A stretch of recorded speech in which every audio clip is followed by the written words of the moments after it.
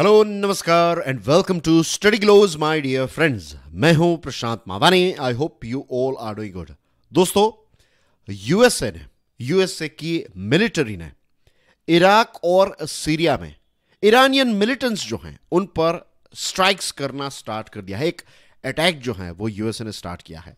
तो ये पूरी जो एक्शन है, ये स्ट्राइक्स जो है, उसके साथ जुड़ी हुई इंपॉर्टेंट डिटेल्स को हम देखेंगे.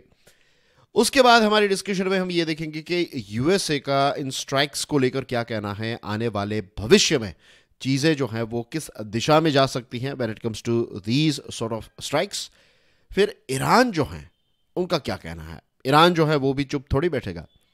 तो ये एक थरो एनालिसिस होने वाला है। जियो के पॉइंट ऑफ़ व्यू से भी चीज़ों को देखेंगे। हमास और इसराइल के बीच में ये जो युद्ध चल रहा है तो कैसे ये धीरे धीरे अलग अलग क्षेत्रों में फैलने लगा है? कैसे यूएसए और ज़्यादा इन्वॉल्व होता जा रहा है? ये सारी चीज़ों के बारे में आज हम एनालिसिस करने वाले हैं राइट डियर फ्रेंड्स मैंने कोर्स डिज़ाइन किया है। इसका नाम है लिमिटलेस लीडरशिप ये कोर्स आप स्टडी ग्लोज के मोबाइल ऐप से एक्सेस कर पाएँगे। इसके साथ जुड़ी हुई सारी डिटेल्स आपको स्टडी ग्लोज के मोबाइल ऐप पर मिल जाएगी। तो अगर आपके फ़ोन में स्टडी ग्लोज का मोबाइल ऐप नहीं है तो आज ही अभी इसको डाउनलोड कीजिए and go through this course और इसके साथ लेट मी टेल यू दूसरे भी बहुत सारे इंटरेस्टिंग कोर्सेज जो हैं, वो स्टडी ग्लोज के मोबाइल ऐप पर अवेलेबल हैं। इसी के साथ डियर फ्रेंड्स ये चार सोशल मीडिया हैंडल्स हैं, जिनके माध्यम से आप मेरे साथ कनेक्ट कर सकते हैं we can connect with each other of course और ये मेरी चैनल है क्यूरियसली एजुकेशन यूट्यूब चैनल है, इसको भी सब्सक्राइब करना ना भूलें। तो let's talk about the action right तो जैसे मैंने आपको स्टार्टिंग में बताया कि लोकेशंस जो हैं, वो ध्यान में रखिएगा राइट जो एयर स्ट्राइक हैं, वो यूएसए ने की है, लेकिन यूएसए ने ईरान जो हैं ईरान की टेरिटरी में अटैक नहीं किया है। सीरिया और इराक में जो ईरान फोर्स ईरानियन फोर्सेस हैं, ईरान के द्वारा वे सारे टेररिस्ट ऑर्गेनाइजेशंस जो मिलिशियाज हैं, इनको जो सपोर्ट किया जाता है तो इनके जो लोकेशंस हैं, इस पर यूएसए ने एयर स्ट्राइक्स कंडक्ट की है। अब प्रश्न ये उठता है कि यूएसए ऐसा क्यों कर रहा है? दी आंसर इज़ दोस्तों, अभी कुछ समय पहले की बात है। यूएसए के जो बेसिस हैं, उन पर अटैक हुआ। और इस अटैक में तीन अमेरिकन सोल्जर्स जो हैं, वो शहीद हो गए, तीन अमेरिकन सोल्जर्स जो हैं, उन्होंने अपना सुप्रीम सेक्रीफाइस दिया। And this is the reason कि अब यूएसए जो है, वो बहुत ज़्यादा आग बबुला हो चुका है। यूएसए इज़ वेरी एंग्री अब यूएसए जो है, वो यहाँ पर चुप नहीं बैठेगा। वैसे भी यूएसए जो है, वो चुप नहीं बैठता है, लेकिन अब तीन सोल्जर्स, तीन अमेरिकन सोल्जर्स की मौत हो गई तो अब यूएसए जो है, वो स्ट्राइक्स स्टार्ट कर चुका है, धड़ाधड़ स्ट्राइक्स कंडक्ट की है। ट्वेंटी जनवरी की बात है। जॉर्डन जो देश है ना तो जॉर्डन में यूएसए का जो बेस है, वहाँ पर ये अटैक हुआ था। इसमें बहुत सारे यूएसए के सोल्जर्स जो हैं, वो घायल हुए और तीन सोल्जर्स जो हैं, उनकी मृत्यु हो गई। दोस्तों, ये तीनों सोल्जर्स जो हैं, इनका जो पार्थिव शरीर हैं, वो भी यूएसए तक पहुँच गया है। और यूएसए के जो फ़र्स्ट लेडी हैं, जो बाइडेन के जो मिसेस हैं वो भी ये तीन सोल्जर्स के पार्थिव शरीर को रिसीव करने के लिए एयरपोर्ट भी गए थे राइट तो यू कैन अंडरस्टैंड कि जो प्रेसिडेंट हैं, उनकी जो वाइफ हैं फ़र्स्ट लेडी जो हैं, वो आपके मीन्स जो सोल्जर्स हैं, उनको रिसीव करने के लिए एयरपोर्ट तक जाते हैं। तो यू कैन अंडरस्टैंड कि यूएसए का जो टॉप मैनेजमेंट है टॉप लीडरशिप है, वो इस चीज़ को कितना सीरियसली कंसिडर कर रही है right it is not a light matter ऐसी छोटी मोटी बात नहीं है। और जो बाइडन साहब जो हैं, उनकी मुलाकात जो है, ये सोल्जर्स के परिवार के जनों के साथ भी हुई है। तो यू कैन अंडरस्टैंड के यूएसए अपने सोल्जर्स को कितना ज़्यादा इंपॉर्टेंस देता है और इसी के साथ साथ इस प्रकार की जब भी कोई दुर्घटना होती है तो उसको टॉप लेवल तक रजिस्टर किया जाता है। यूएसए के जो बेजेस हैं, वो अलग अलग जगहों पर हैं। जैसे कि इराक में अलग अलग लोकेशंस पर उनके बेसिस हैं। सीरिया में अलग अलग लोकेशंस पर उनके बेसिस हैं। एंड डियर फ्रेंड्स अगर आपको नहीं पता है तो लेट मी टेल यू कि सेवन्थ अक्टूबर जब से ईरान बेगे पार्डन जब से इसराइल और हमास के बीच में युद्ध की शुरुआत हुई है, तब से लेकर आज तक 160 टाइम्स 160 टाइम्स से ज़्यादा इराक और सीरिया में जो यूएसए के बेसिस हैं, उन पर अटैक्स हुए हैं। लेकिन अभी तक ये अटैक्स में किसी भी यूएसए के सोल्जर्स की मृत्यु नहीं हुई थी, लेकिन पिछले हफ़्ते तीन यूएसए के सोल्जर्स जो हैं उनका निधन हुआ तो USA is very very angry अब यूएसए ने एयर स्ट्राइक्स कंडक्ट करना स्टार्ट कर दी है। बी वन बॉमर जिनको आप अपनी स्क्रीन पर देख सकते हैं राइट एक बहुत ही केपेबल एयरक्राफ्ट है। इसका इस्तेमाल भी किया और 85 टारगेट्स जो हैं, उन पर अटैक किया है सात अलग अलग अलग अलग लोकेशंस और ये सात लोकेशंस जो है ना, इसमें से तीन लोकेशंस जो हैं, ये इराक में हैं। और चार लोकेशंस जो हैं, ये सीरिया में है। तो यू कैन अंडरस्टैंड कि कोई छोटी बात नहीं है, बहुत ही कोऑर्डिनेटेड तरीके से यूएसए ने अलग अलग सात लोकेशंस पर 85 टारगेट्स जो हैं, उन पर स्ट्राइक की है। और ये जो टारगेट्स हैं इसमें इस्लामिक रेवोल्यूशनरी गार्ड कोर की जो कुद्स फोर्स है कुद्स फोर्स जो है, इसका मेन काम क्या है? जो ईरान के ये जो मिलिटेंट्स हैं ना तो इनके ओवरसीज के ऑपरेशंस फॉरेन ऑपरेशंस जो होते हैं, ये कुद्स फोर्स के द्वारा देखे जाते हैं। तो ये कुद्स फोर्स और दूसरी जो ईरान के द्वारा सपोर्टेड मिलिटेंट ग्रुप्स हैं इनके कमांड और कंट्रोल फैसिलिटीज़ इनके जो सप्लाई डेपोज हैं जहाँ पर रॉकेट्स मिसाइल्स ड्रोन रखे जाते हैं, ये सारी चीज़ों पर यूएसए ने अटैक किया है।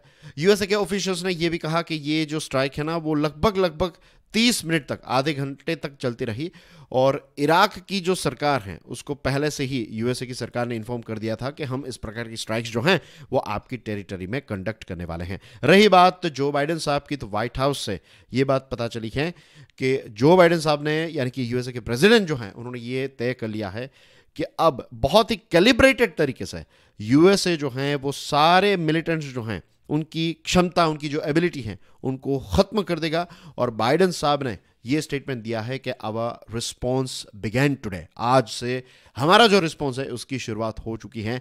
It will continue at times and place of our choosing हम बार बार जब भी हमें ठीक लगेगा, जब भी नेसेसरी होगी तो हम इस प्रकार की स्ट्राइक्स जो है, वो कंडक्ट करते रहेंगे।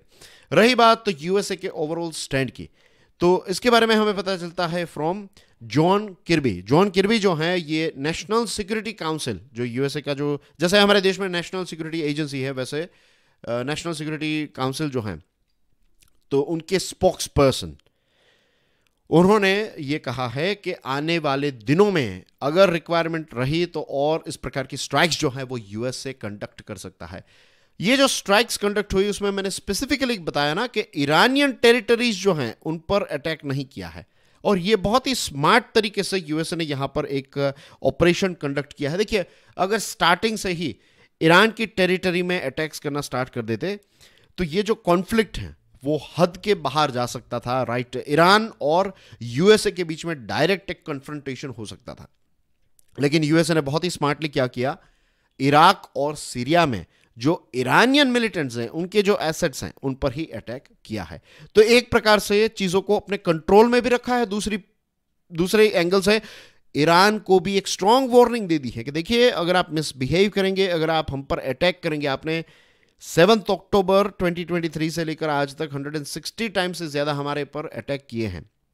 और हमने भी टाइम टू टाइम आपको जवाब दिए हैं, लेकिन अब हमारे सोल्जर्स की मृत्यु हुई है। अब अगर आपने अटैक्स कंटिन्यू किए तो फिर यूएसए का फुल वॉर्थ जो है फुल फोर्स में यूएसए जो है, आपको डिस्ट्रॉय कर देगा। रही बात कुछ की, जैसे मैंने आपको बताया कि जो आईआरजीसी है तो उनके फॉरेन ऑपरेशंस को देखने का काम ये कुछ फोर्स करती है।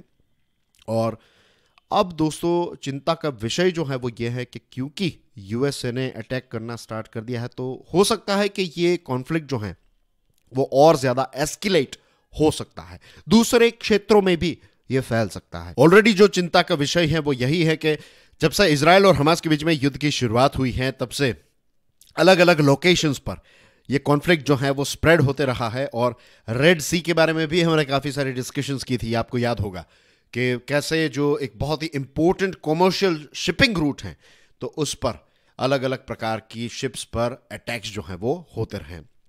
Secretary of the state Antony Blinken साहब जो हैं, वो अब इस क्षेत्र में जाने वाले हैं right he is going to visit few countries here in west Asia और वहाँ पर वो जाने वाले हैं दो इंपॉर्टेंट चीज़ों को लेकर। नंबर वन कि एक तो सीज फायर हो जाए। हमास और इसराइल के बीच में जो ये युद्ध चल रहा है, उसको सीज फायर का एक एक पॉज दिया जाए। दूसरी जो चीज़ है वो ये है कि हॉस्टेज की जो डील है, जो कुछ लोग हैं जो आज भी हमास के कब्जे में है तो उनको कैसे छुड़वाया जाए? तो ये सारी चीज़ों को लेकर, ये दो इंपॉर्टेंट मिशंस को लेकर, ये दो इंपॉर्टेंट टारगेट्स को लेकर एंटोनी ब्लिंकन साहब जो है वो अभी कुछ दिनों के अंदर ही वेस्ट एशिया जाने वाले हैं और उससे पहले इस प्रकार की स्ट्राइक्स हो रही है। तो ये थोड़ा एक चिंता का विषय तो डेफिनेटली है ही। दूसरी तरफ़ अगर हम ईरान की बात करें तो ईरान जो है वो एक ग्रुप चलाता है, इसका नाम है एक्सिस ऑफ़ रेजिस्टेंस तो ये एक प्रकार का आप समझ लीजिए एक ऐसा ग्रुप है जिसमें बहुत सारी ऑर्गेनाइजेशन इन्वॉल्व हैं और ये ऑर्गेनाइजेशन जो हैं, ये बेसिकली एक्सेस ऑफ़ रेजिस्टेंस जो हैं, ये एंटी इसराइल और एंटी यूएसए मिलिटेंट ग्रुप हैं और अलग अलग देशों में जो सीरिया लेबनन येमैन और यहाँ तक जो गाज़ा स्ट्रिप में हमास हैं।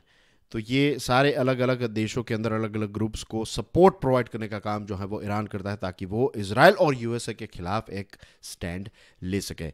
रही बात आईआरजीसी की तो उनके कमांडर ने ये कहा है कि हम यूएसए के साथ युद्ध नहीं चाहते हैं, लेकिन हम युद्ध से डरते भी नहीं हैं। और ईरान के जो एम्बेसडर हैं यूनाइटेड नेशंस में, उन्होंने ये कहा है कि if any party attacks Iran territory और इट्स इंटरेस्ट और citizen abroad it will be met with a decisive response अगर किसी ने भी ईरान की टेरिटरी ईरान के सिटीजन्स या फिर ईरान के हित को अटैक किया तो फिर ईरान जो है वो एक मुँह तोड़ जवाब देगा। ऐसा उनका कहना है, ऐसा उनका ऑफिशियल स्टेटमेंट है।